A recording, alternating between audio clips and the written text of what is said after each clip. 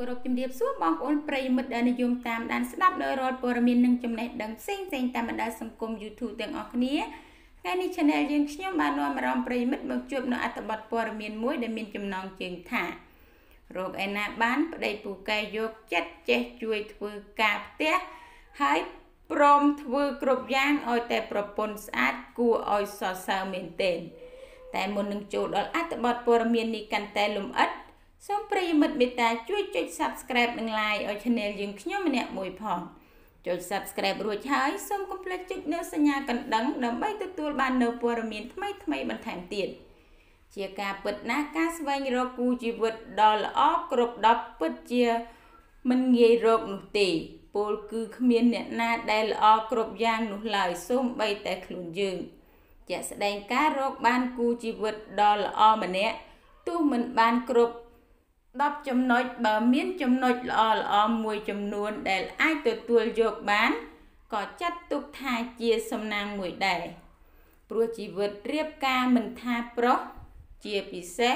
គឺមនុស្សស្រីមានក្តីសុខឬយ៉ាងណាក៏សុទ្ធតែ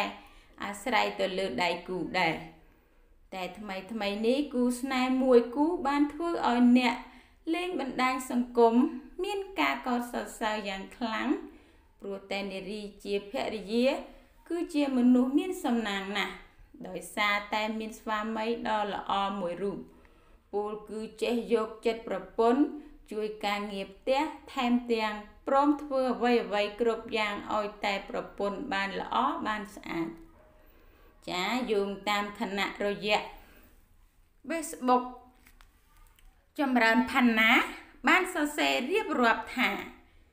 មានប្តីម្នាក់ដូចមានមនុស្ស100នាក់អរគុណប្តីមើលថែអូនយ៉ាងល្អអ្វីដែលចង់បាន គឺពេលនេះអូនបានអស់ហើយ រួមទាំងប្តីដ៏ល្អមិនថាការងារស្រី ការងារផ្ទះការងារមើលថែប្រពន្ធរូបថតចាសំទោថតរូបក្តៅយ៉ាងណាក៏ព្រមឲ្យតែបានរូបប្រពន្ធស្អាត ហើយដែលសំខាន់ចេះធ្វើសក់មូលសក់គ្រប់បែបយ៉ាងឲ្យតែប្រពន្ធស្អាតទោះមិនចេះ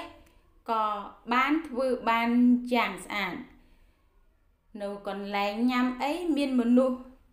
ច្រើនយ៉ាងណាក៏បងធ្វើចេញដែរអរគុណដែលបានកែចរិតដើម្បីអូន